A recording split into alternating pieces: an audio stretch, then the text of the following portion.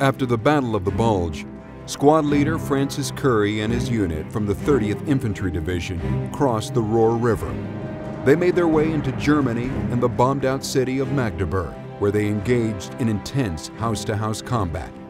The Air Corps had worked the city over ahead of us that morning, and I remember there's a pile of rubble on one street, and they had a machine gun set up. So I look at the situation over where it is. There's an apartment house right, right there on the side. I see a balcony about the third story.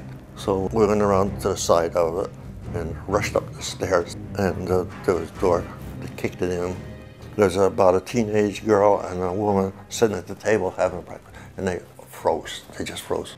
As street fighting raged on below, Currey crawled out onto the living room balcony, located the German crew, and devised a plan.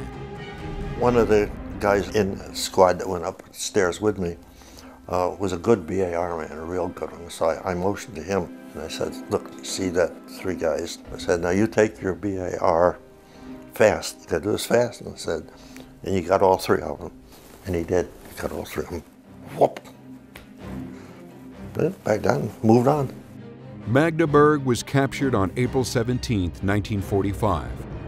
The 30th remained in occupation for a short time before handing the city over to the Russians. This marked the end of the war for the 30th Infantry Division.